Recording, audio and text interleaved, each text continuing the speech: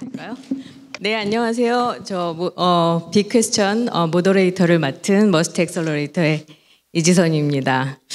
제가 그 3회 제주에서 하는 컨퍼런스부터 스생컨에 열심히 참여를 했는데요. 예, 사실 이 시간이 저한테는 되게 힐링이 되고 그 반가운 얼굴들을 만나는 시간이었는데 아, 이번에는 갑작스럽게 moderator를 맡게 돼서 되게 긴장이 됩니다. 근데 지금 보니까 심플로에 그 많은 질문이 많이 올라오지 않은 상태예요. 그래서 지금부터 예, 좀 질문을 적어주시면 이번 세션이 더 재밌을 것 같습니다. 예, 사실 스타트업 생태계는 항상 이제 문제를 만나고 그 문제를 어떻게 스타트업이 해결하는지를 보고 그 안에서 혁신이 일어나고 성장이 일어나고 또 투자를 하면서 스타트업을 키워내는데요. 사실 오늘 네 분이 던져주신 문제는 이게 너무나 커가지고 과연 이 문제를 우리가 풀 수 있을까라는 위기감이 좀 들었습니다. 더군다나 이제 허준호 박사님께서는 말씀이 되게 빠르시잖아요. 오늘 많은 내용을 소화하기 위해서 막 더 빨리 얘기하시니까 위기감이 더했던 것 같은데 먼저 그 인공지능 부분에 대해서 좀 질문을 드리고 싶은데 사실 저는 이제 90년대부터 워낙 그 박사님께서 인터넷 시대를 개척해 오셨으니까 그 부분의 경험을 바탕으로 이렇게 갈 거다라고 전망해 주신 부분이 굉장히 인상적이었는데요. 근데 뭐 제목이 위기인가 혹은 기회인가 였잖아요. 어떻게 생각하시나요? 기회와 위기 쪽에 어디에 더 가깝다고 생각을? 그, 그 부분은 저도 결론을 내기 좀 어려울 것 같고요. 근데 이제 오늘 아까 말씀을 드리지 못했지만은 제가 이 한국이라는 context에서 지금 AI의 트렌드에 대한 시각을 조금 말씀드리면 약간 좀 우울한 얘기일 수도 있긴 한데 90년대 후반에 제가 웹이라는 이제 wave를 딱 받았을 때는 어떤 상태였냐면은 웹과 관련된 기술에 대해서 국내에는 그 기술에 관여해 본 사람도 없었고 만든 사람은 더 아무도 없었던 시기입니다. 그러니까 미국에서 만들어진 기술을 그냥 우리는 그냥 받아들인 거죠. 그 19세기 뭐 후반과 비슷한 상황이었는데 그러면서 그때는 보면은 아, 미국에서 이거 하고 있으니까 우리도 따라 해보고 하다 보니까 뭔가 만들어졌던 거 적고 그 중에서 뭐 세이클럽도 나오고 한멜도 나오고 네이버도 나오고 많은 회사가 나왔는데 그러면서 지난 20년 동안에 어떤 제그 생각 가지 그 느낌을 가지고 어떤 이제 판단 생각을 하고 있냐면은 그래도 우리가 많이 catch up했고 그 중 일부 분야는 그래도 우리가 세계에서 leading하고 있는 분야가 생겼던 것 같아요. 이 IT 분야에 대해서 관련해 가지고. 근데 AI 관련해 가지고 다시 한 방 빵 맞으면서 어떤 느낌이 드냐면은 다시 90년대 후반으로 돌아간 느낌이에요.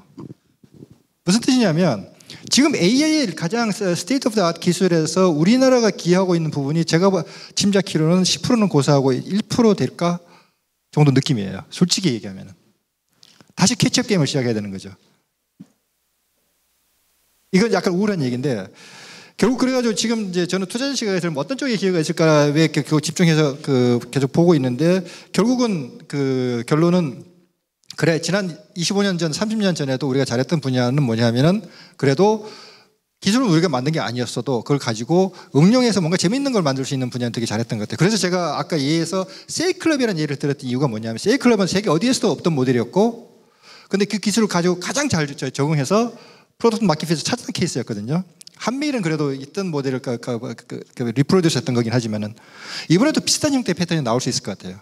그래서 저는, 저는 예를 들면 그때 리니지 만들었던 송재경 대표나 뭐 지금 다른 게임을 만들었던 분들하고 몇 분하고 계속 얘기를 나누면서 결국 AI라는 기술을 가지고 우리가 예, 그뭐 음주가무에 잘 워낙 잘하는 민족 아닙니까? 그 분야에서 제가 볼 때 뭔가 답을 찾을 수 있을 것 같다는 정도의 생각을 하고 있고 그 외의 분야에 대해서는 아직까지 잘 모르겠어요.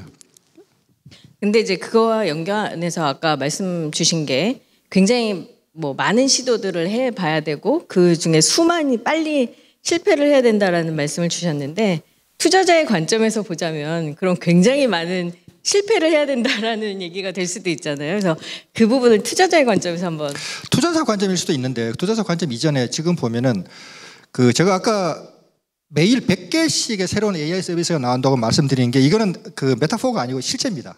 매일 100개씩 나옵니다. 그리고 지금 그 AI 관련된 서비스에 디렉토리 들어가 보시면 대략 한 3,000개에서 5,000개 서비스가 있어요.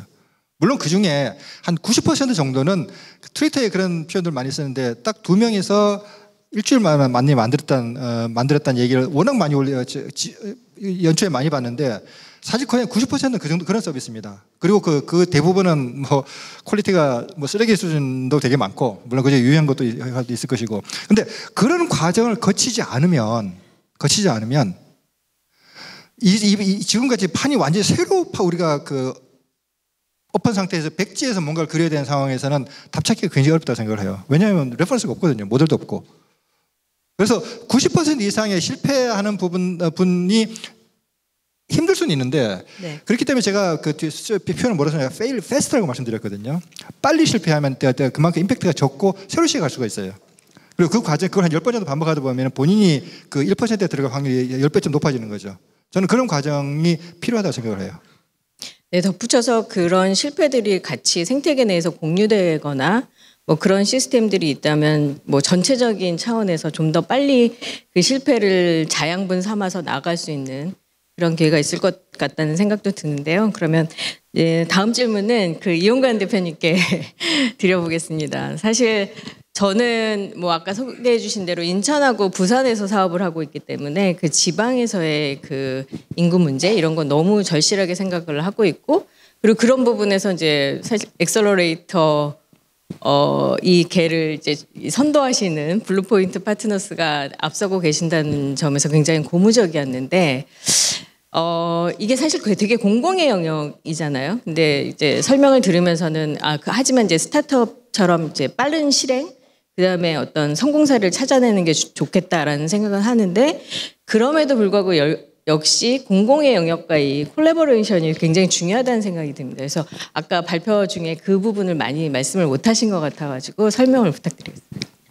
실은 저도 이제 그 본사가 대전에 있잖아요. 그래서 대전에서 어그 어, 그 공동 관리 아파트라는 지역이 있어요. 그게 대전에 어, 해외 과학자 유치하려고 1978년에 만든 그 지역이 있거든요. 한 8천 평 정도 되고 근데 그게 1990년대 후반에 폐쇄가 됐어요. 이제 좀 오래돼 가지고 지금 20년간 비어 있거든요.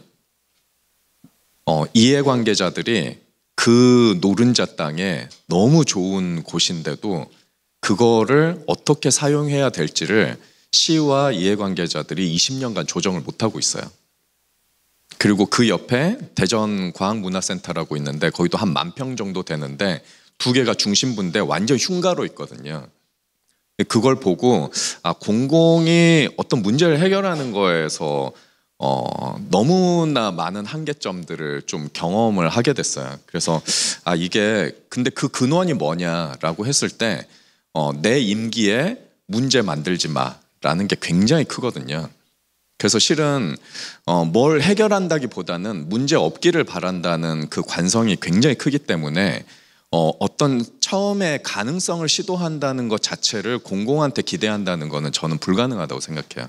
그래서 오히려 스타트업들이 어떤 value가 있다는 거, 아 이렇게 해도 괜찮네 라는 걸 한번 보여주면 그때는 이제 공공이 어, 규제도 바꿔주고 scale up 하는데 자본도 이렇게 들어갈 수 있도록 좀 유도를 해주고 하는 것들 그 다음에 하는 것들 되게 여러 번 음, 좀 반복적으로 경험을 하게 됐거든요. 그래서 저는 이제 스타트업이 먼저 해야 된다고 생각하는 게 그런 좀 선제적인 시도를 어, 인구 문제 같은 경우는 지금 아무리 정책을 바꿔도 아무 변화도 없거든요.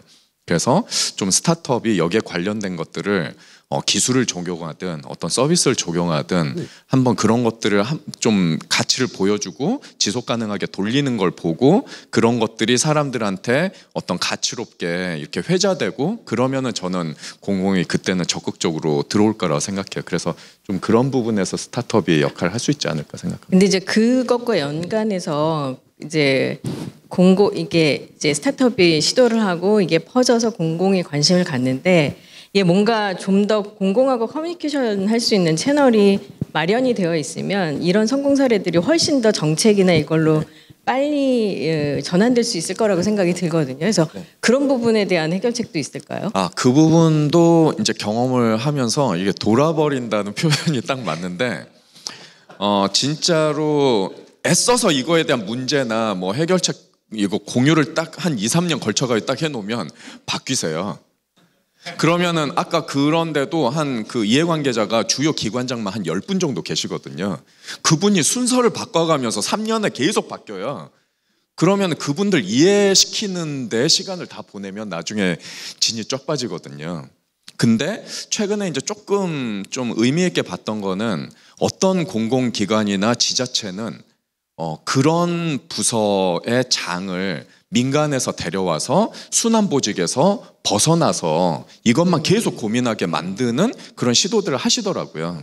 그래서 그런 곳들은 이제 뭐 그 담당 부서장은 바뀔 수는 있지만 그걸 총괄하시는 분들은 되게 어 그 같은 생각을 가지고 계속 전문성을 축적하면서 가는 걸 보고 아 이런 시도들이 이제 좀 공공에서도 이해를 하고 어 시도를 하고 있다. 근데 아직은 뭐 95% 이상은 어 이런 거에 좀 리스크가 네. 있다고 생각합니다. 저도 돌아버리겠다는 표현을 너무 절감하면서 들었는데 또 그런 부분도 있는 것 같더라고요. 그러니까 공공이라는 게 어느 한 곳에서 성공을 하면 또 그거를 다른 데서 빨리 이렇게 캐 치하려는 그런 시도들은 있는 것 같아서 어쨌든 성공 사례가 굉장히 필요할 것 같습니다.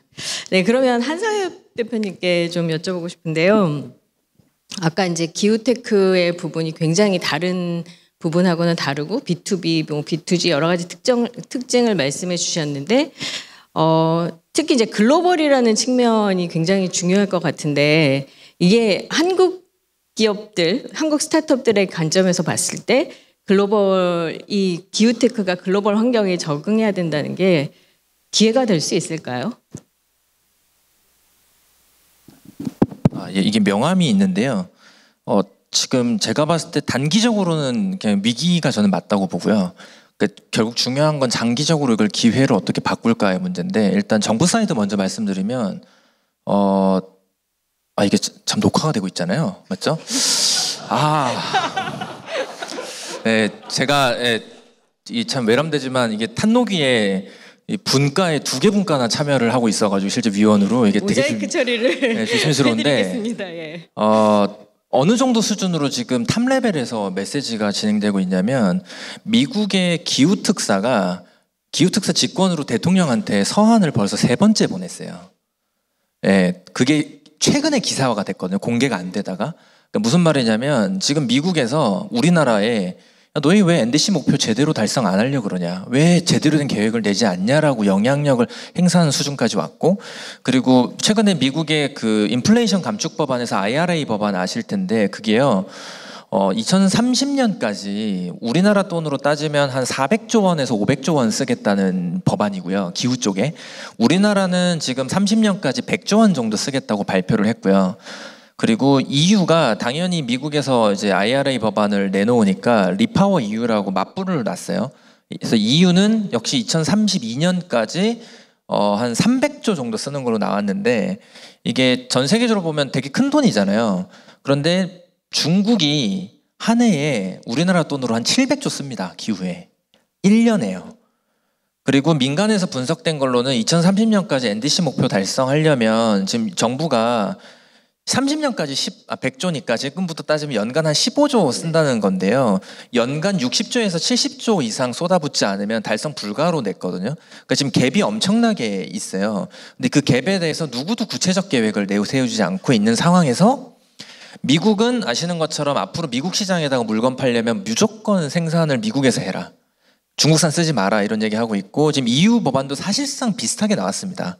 그러니까 한마디로 우리나라 기업 입장에서는 이 기후테크 기업들이 소프트웨어 쪽으로 접근하는 걸 제외하고는 대부분 다 하드웨어적인 접근을 하게 되는데 국내에서 이 기술을 가지고 수출을 하려면 일단 미국 시장 가야만 되는 거고 그걸 한국에서 생산해서 수출한다는 개념이 한시적으로는 가능할 건데 앞으로 시장이 계속 그렇게 열려 있을 거냐에서 굉장히 회의적이라는 측면이 있고 그 상황에서 정부의 계획이 엄청 구체적이냐 그러면 아직 그 정도는 오지 않았기 때문에 결국 여기서 이제 스타트업들이 이제 취해야 될 선택들은 어쩔 수 없이 일단 한국 시장에서 시작을 해야 되니까 어, 무조건 어느 한 대기업을 잡아내야 되는 것 같고요. 왜냐하면 대기업이 대부분의 value chain을 점령하고 있기 때문에 그 대기업의 value chain의 어느 한 라인에 들어가지 못하면 시작조차 불가능한 게 현실이어서 일단 대기업 투자를 무조건 받아내야 되고 두 번째는 결국은 글로벌 가서 경쟁하지 못하면 반대로 글로벌 기술이 한국에 무조건 들어올 거라고 저는 보고 있거든요. 이미 그런 일이 일어나고 있고요.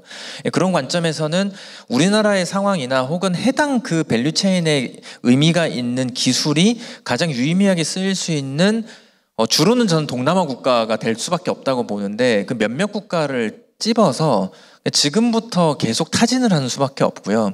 예, 끝으로는 지금 우리나라의 몇몇 그 기후 기업들도 샌드박스 제도 되게 잘 이용하고는 있습니다. 근데 그게 한시적이라는 게 문제긴 합니다만 예, 결국 지금 정부 제도나 정책이 구체적 기술의 시장까지 연결이 못 아, 되지 않고 있는 게 현실이어서 예, 그 틈바구니 내에서 어떻게 기회를 만들 거냐를 봐야 되고 저도 계속 주장을 하는 건 이 기술 다 뺏길 거다 결국 그러려면 한국판 IRA를 만들어내 줘야 전 세계 기술이 한국에 올 거고 한국이 테스트 베드가 되거나 한국의 대기업을 다들 엄청 좋아하거든요. 뭐 배터리, 뭐 자동차, 에너지 이런 거 한국 최고잖아요. 그래서 한국 대기업과 협업할 수 있다 그러면 전 세계 주요 기, 기후 기술 기업들은 한국에 옵니다. 그래서 좀 그런 식의 좀 작업들을 만들어내지 못하면 어, 저는 이 기술 패권도 뺏기게 될 거고 우리나라 기업들도 그냥 한국에서 여러 시도를 하다가 결국 좀 기회를 놓칠 수 있겠다라는 좀 위기감이 좀 더 저는 큰 상황입니다.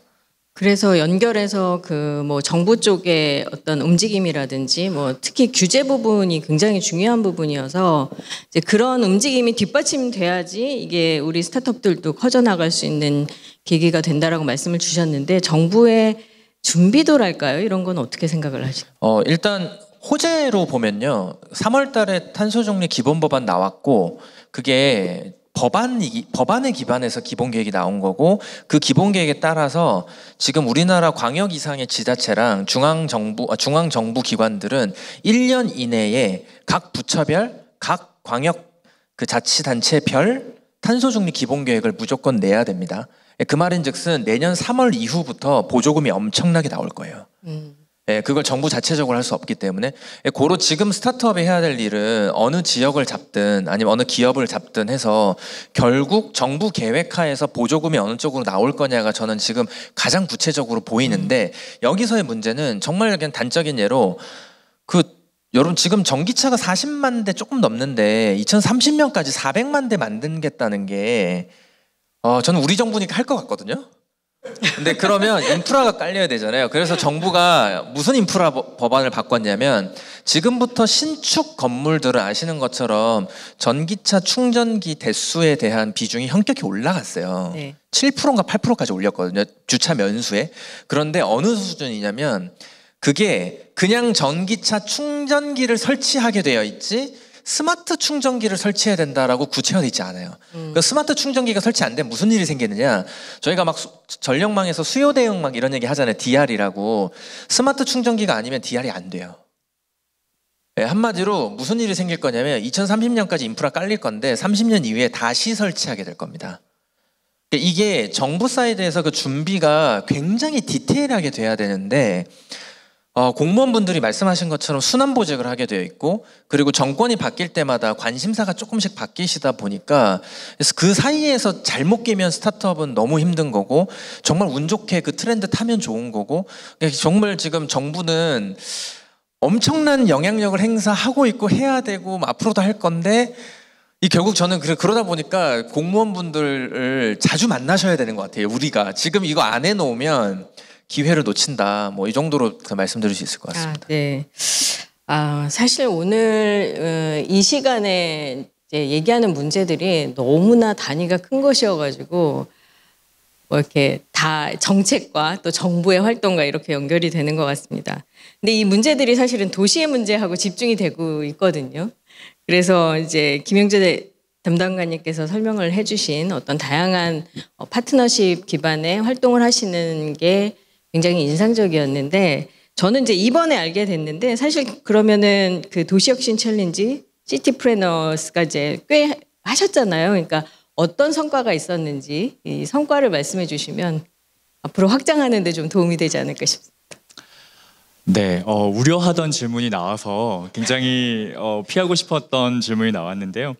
사실 7년 동안 했다라고 하면서 뭔가 크, 그래도 뭔가 한 것처럼 제가 발표를 했는데 그 7년 중에 중앙에 3년이 코로나가 있었습니다. 그래서 저희가 어, 17, 18, 19를 이제 시작을 해서 여기 계신 이제 VC 분들 중에서도 저희 같이 함께 이제 또 후원해 주시고 참여하셨던 분들도 많이 계신데 어, 코로나 와중에는 저희가 오프라인 행사를 크게 할 수가 없었기 때문에 어, 온라인으로 전환을 했습니다. 그래서 이제 어, 그러한 영향이 있어서 어떻게 보면 뿌리가 쭉 내려가야 될 때 뿌리가 이제 막 들썩들썩 했던 부분이 있어서 좀 아쉬운 게 있고요.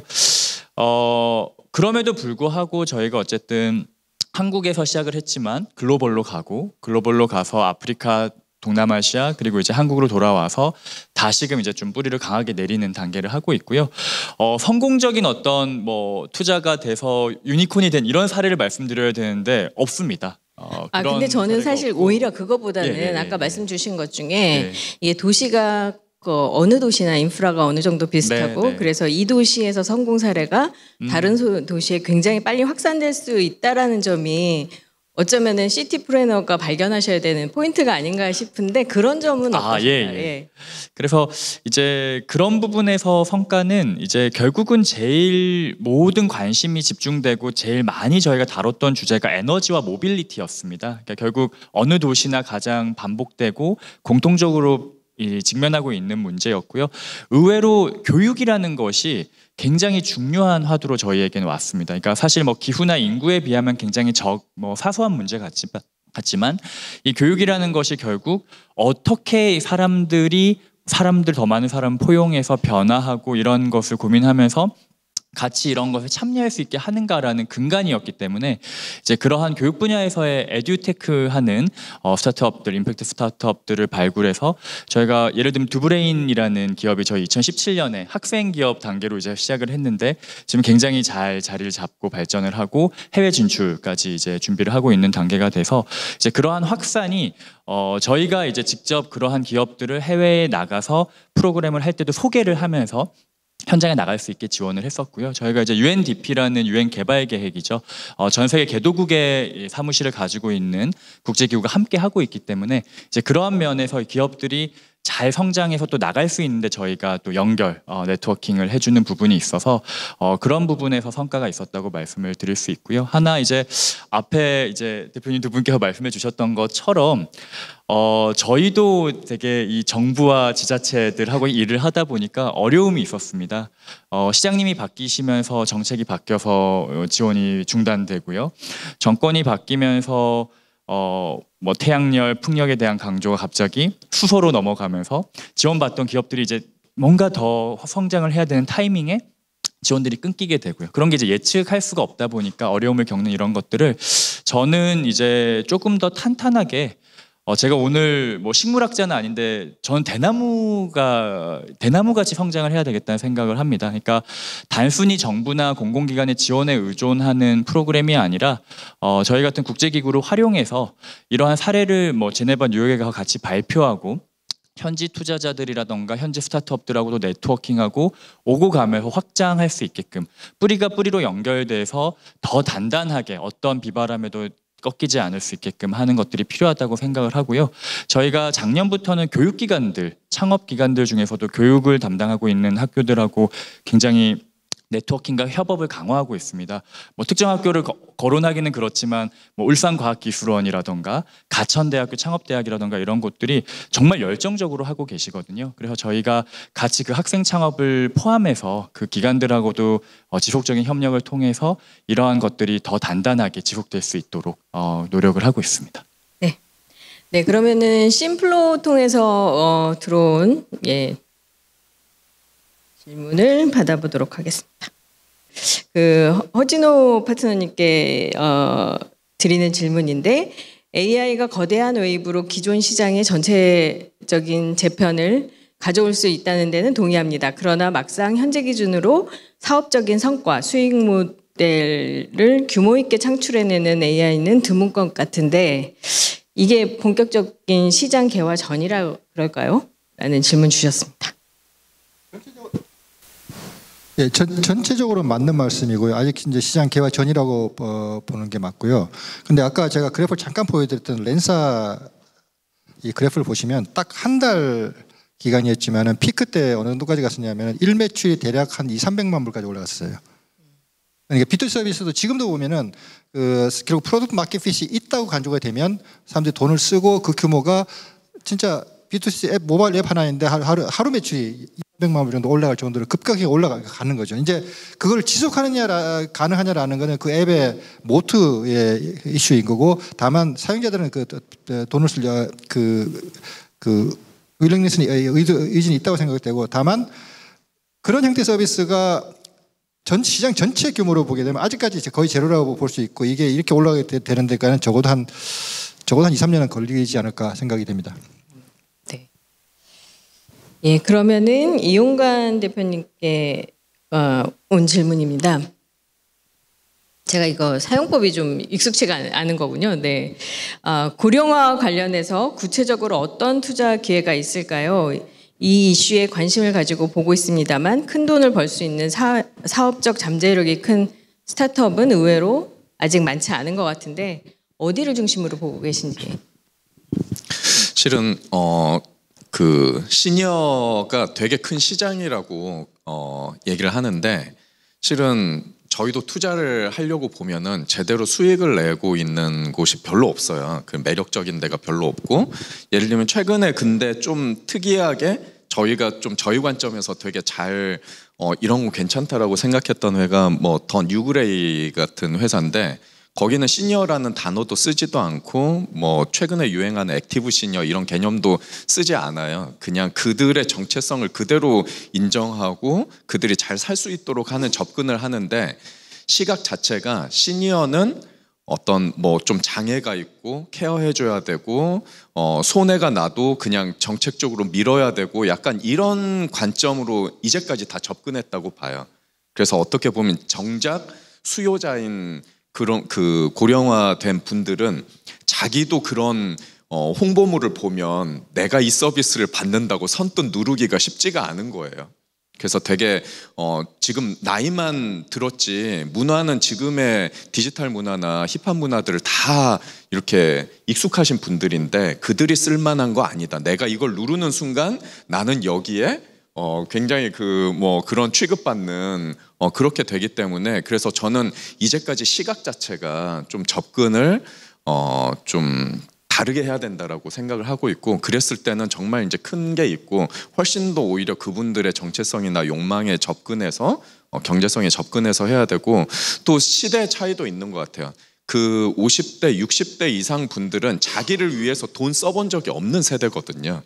그래서 그들은 어떻게든 참고 뭐 생활 문화 자체가 그런 소비에 익숙하지 않으신 분들이에요. 그래서 그럼 지금은 그렇지만 솔직히 저는 이제 40대나 50대 어, 이런 분들을 위해서도 되게 이제 이런 게 만들어져야 되고 구, 우리 미래는 정해져 있다고 생각해요. 굉장히 큰 시장이 올 거고 그래서 저는 좀 그게 있고 하나는 어, 저는 이제 이걸 제대로 해결 못 한다면 재정의 파탄하고 굉장히 그 큰 문제 저는 직면할 거라고 생각을 하고 그래서 이런 것들 의료라든지 케어라든지 이런 것들 효율화될 수 있는 곳에서 굉장히 큰 기회가 저는 있다고 생각합니다. 네. 네, 말씀 주신 대로 이제 우리가 흔히 고령화 산업이라고 했을 때 생각나는 이미지들을 먼저 바꿔야 된다는 생각이 드는데 그렇다면 이제 그 고령자분들이 스타트업에 나서, 나서야 되지 않을까 하는 생각도 좀 드는데 어떠세요? 네, 아 절대 반대입니다.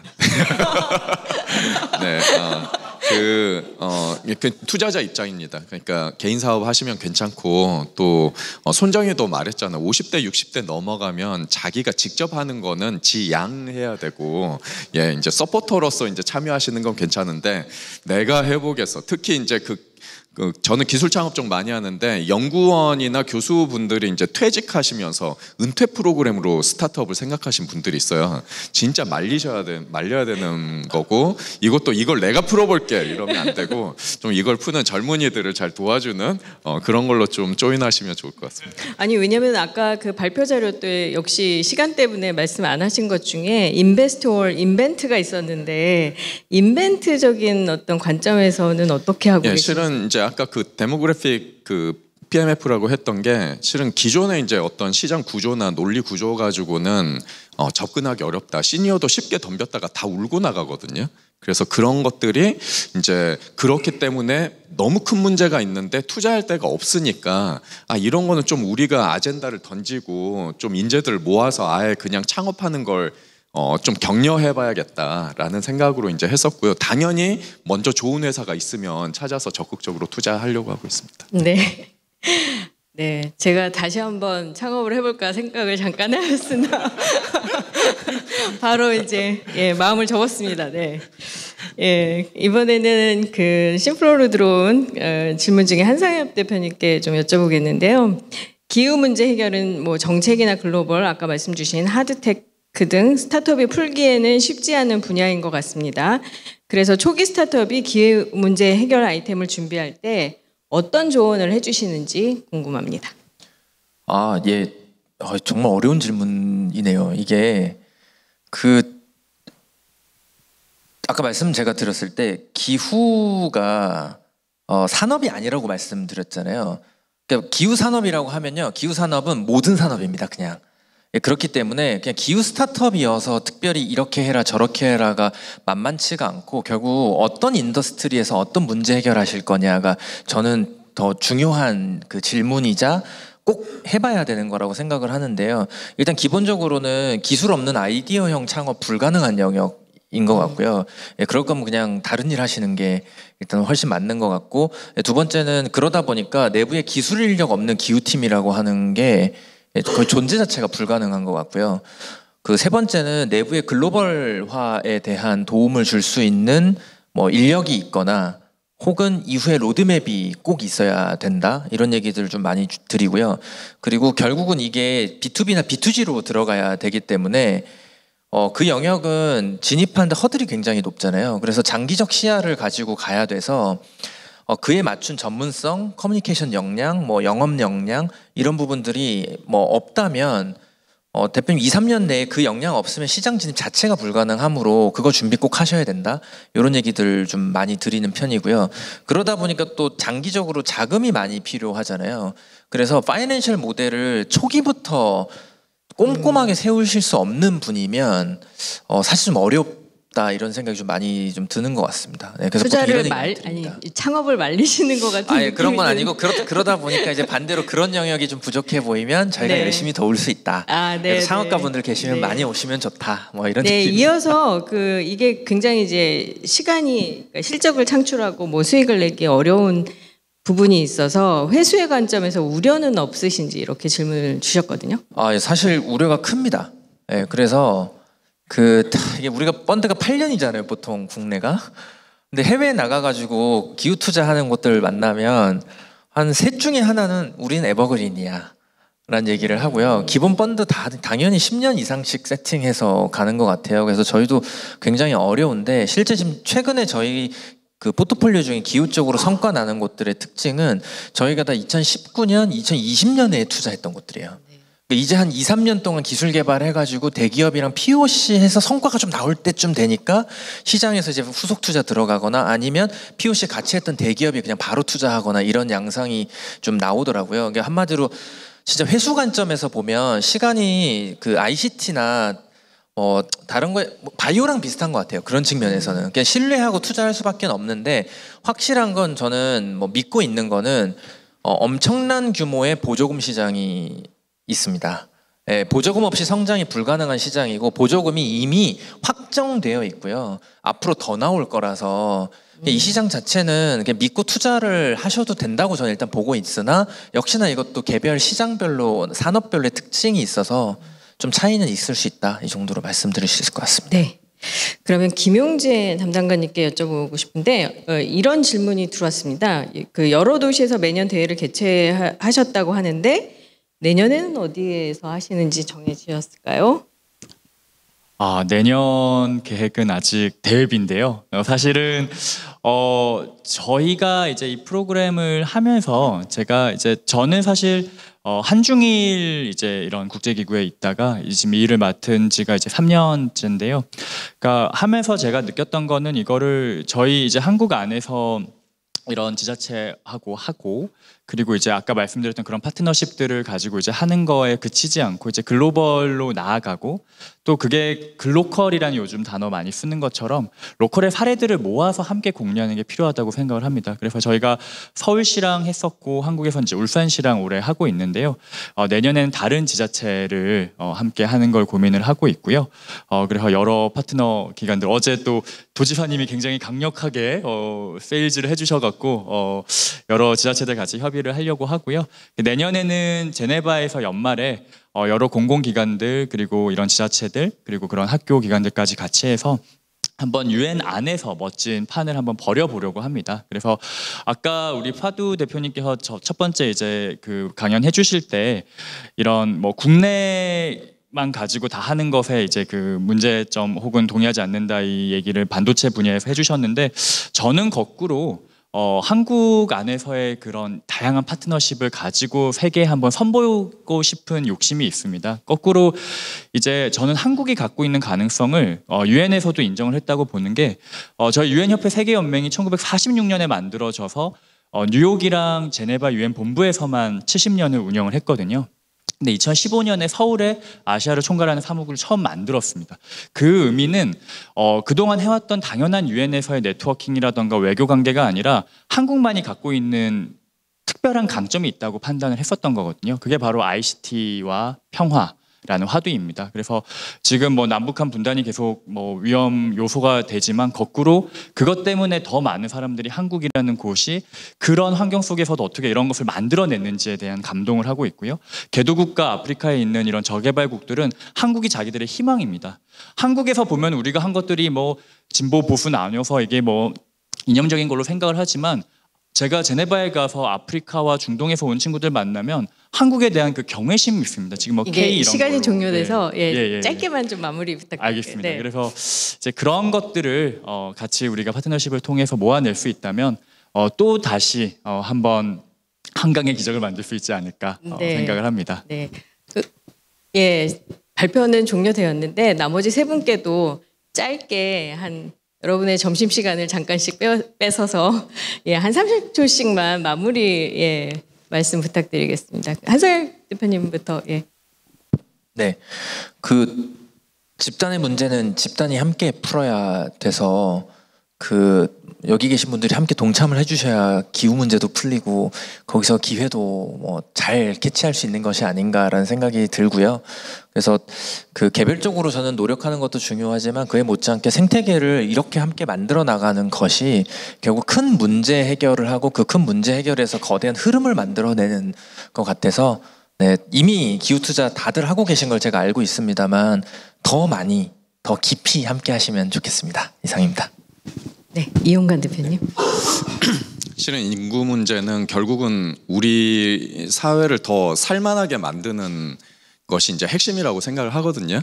그리고 이제 투자라는 게 의미적으로 어 우리가 투자는 그냥 뭐 캐피탈 게인을 위해서 하는 것 같지만 실은 우리가 투자하는 게 결국은 우, 그 세상에 있는 인재들과 자본들한테 여기가 기회가 있어라는 메시지를 던지는 거잖아요. 그래서 결국은 좀 여러분들이 인구 문제든 여기 기회 문제든 도시 문제나 이런 것들에 좀 관심을 가지고 투자를 하는 게 실은 더 많은 자본들과 인재들한테 여기에 어, 큰 문제와 기회가 있다라는 걸 이제 메시지를 던지는 거라고 생각을 해서 좀 많은 관심을 가져주시고 해주시면 어렵지만 어, 해결될 수 있지 않을까라는 생각을 합니다. 네. 예, 여긴 뭐 지금 스타트업 하시는 분보다는 이제 그 주, 주위에 계신 분들 더 많이 계시긴 하지만 이제 AI 관련해 가지고 제가 계속 보면서 진짜 안타깝게 느끼는 게 뭐냐면은 우리나라 사람들이 보면은 내가 좀 더 이해를 하고 자신감이 생기기 전까지 굉장히 공부하는 모드로 열심히 하시는 것 같아요. 근데 이쪽 분야는 허슬이 좀 더 필요한 거예요. 허슬. 뭐 약간 약간 사기 드시는 것도 좀 사기 싫은 뜻이 아니고 아, 그런 것도 좀 있어야 되고 아는 척. 예, hustle 하면서 그 중에 튀어 나오는 케이스가 좀 더 많아졌으면 좋겠는데 아직까지 너무 공부 모드여가지고 그게 조금 안타까워요. 그래서 이제 빨리 진짜 시도 빠- 시도 빨리 하고 빨리 fail하고 또 새로운 거 만들어보고 이런 좀 그런 게 만들어졌으면 좋겠습니다. 네, 제가 정리드리지 않아도 여러분들이 많은 insight 얻으셨을 거라고 생각이 들고요. 예, 오늘 세션은 여기서 마치겠습니다. 감사합니다.